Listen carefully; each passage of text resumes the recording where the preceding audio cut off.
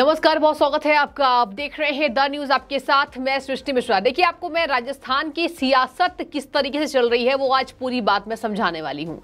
और अशोक गहलोत ने क्या कहा है, सचिन पायलट क्या करने वाले 11 जून को? कहा जा रहा है कि 11 जून को अपनी नई पार्टी, प्रगतिशील कांग्रेस पार्टी का वो ऐलान कर सकते हैं। हालाँकि उनके करीबी सूत्र ये भी बता रहे हैं कि शायद से पायलट की जो रूपरेखा तैयार हुई है, उसमें वो बदलाव कर रहे हैं। आगामी विधानसभा चुनाव को देखते हुए और अपनी मांगों को देखते हुए। बड़ी खबर मैं आपको बता दूँ ब्रेकिंग न्यूज़ सामने आ रही है।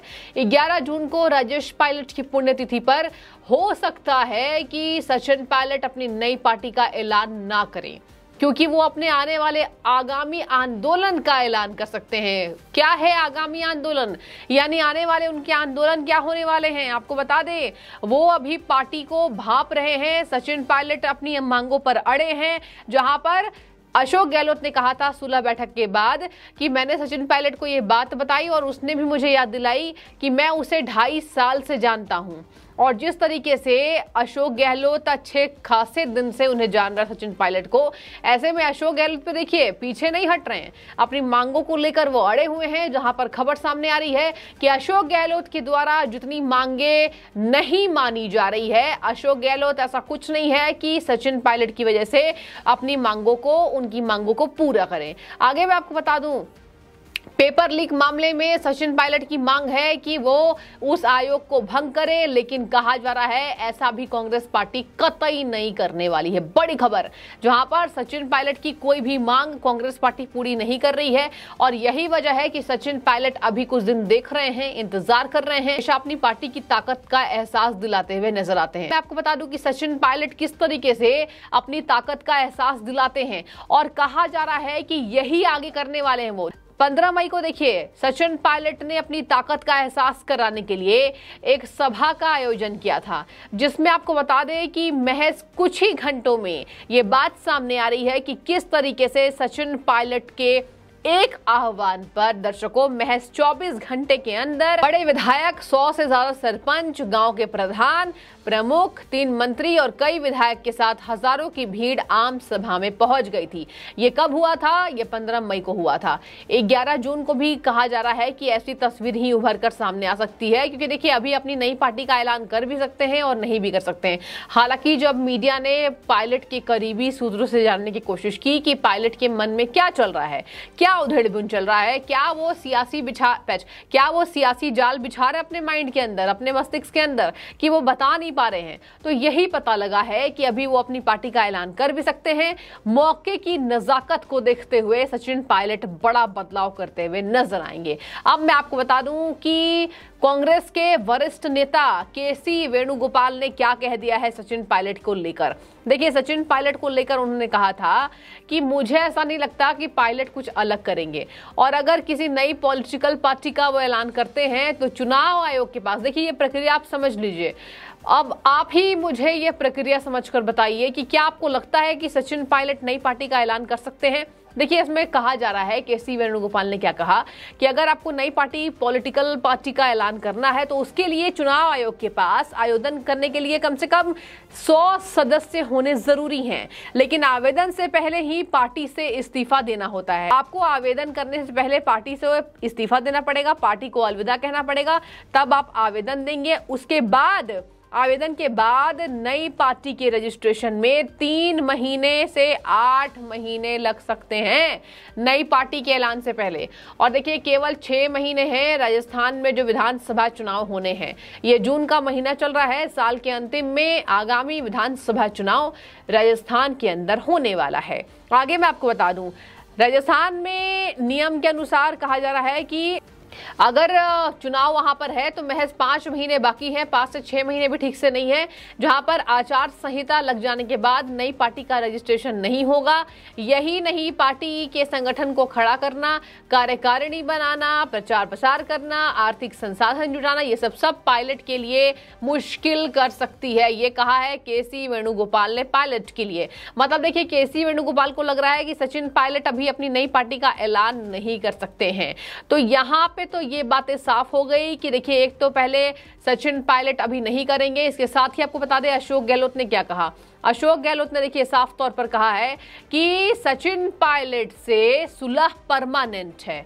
ये जो बात उन्होंने कही है, ये कहीं ना कहीं आपको बता दें, ये बातों में दो बातें नज़र आ रही है। सचिन पायलट से सुलह परमानेंट है, यानी कि या तो वो सचिन पायलट को इग्नोर करते हुए ये बात कह रहे हैं कि देखिए, सुलह करे चाहे ना करे, हमें कोई मतलब नहीं है। एक तो ये बात हो गई और एक ये बात इसमें सामने आ रही है कि कहीं ना कहीं सचिन पायलट अगर सुलह नहीं करते हैं तो मैं तो पार्टी में परमानेंट हूँ, सचिन पायलट का मुझे नहीं पता। सचिन पायलट के लिए लोग यही लिख रहे हैं कि अगर वो नई पार्टी का ऐलान भी कर सकते हैं तो उनके पास विधायकों का समर्थन है, जो कि राजस्थान में उनको खड़े करने के लिए काफ़ी है। आगे मैं आपको बता दूँ दर्शकों कहा जा रहा है कि सचिन पायलट के लिए अशोक गहलोत ने क्या कहा? देखिए, कहा कि राहुल गांधी, कांग्रेस अध्यक्ष मल्लिकार्जुन खड़गे, प्रदेश प्रभारी सुखजिंदर सिंह रंधावा और संगठन महामंत्री के सी वेणुगोपाल ने दोनों नेताओं के साथ बैठकर चर्चा की मतलब मेरे साथ और सचिन पायलट के साथ। आला कमान ने प्यार मोहब्बत से नेताओं को समझा दिया है। ये सवाल व्यक्तिगत नहीं, बल्कि भारत का है। कांग्रेस की ज़रूरत अभी भारत को देखिए, इनको लग रहा है अशोक गहलोत को कि कांग्रेस की ज़रूरत अभी भारत को है। आगे मैं आपको बता दूँ, ढाई साल की उम्र से सचिन पायलट को ये जानते हैं, इन्होंने साफ़ कहा है अशोक गहलोत ने। मतलब देखिए, यहाँ पर एक कहीं ना कहीं प्यार भरी बातें भी करते नज़र आ रहे हैं कि ढाई साल के जब सचिन पायलट थे, तब से मैं उन्हें जान रहा हूँ।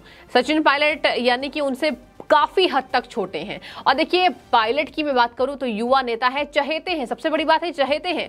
और यही वजह है कि उनका आत्मविश्वास अभी बढ़ता नज़र आ रहा है और उनके एक आह्वान पर जब गाँव के बड़े बड़े प्रधान जुट सकते हैं तो ऐसे में नई पार्टी का ऐलान कर भी सकते हैं और नहीं भी कर सकते हैं। आगे मैं आपको बता दूँ, उन्होंने कहा कि मैंने पायलट को ये बात कही है, पायलट ने भी ये बात मुझसे कही कि जब वो ढाई साल का था, तब से मैं उसको जानता हूँ।